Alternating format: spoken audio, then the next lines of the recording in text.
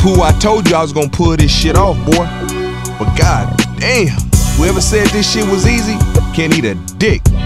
But I told y'all the future was coming. It ain't like y'all didn't know. This shit ain't gon' never stop.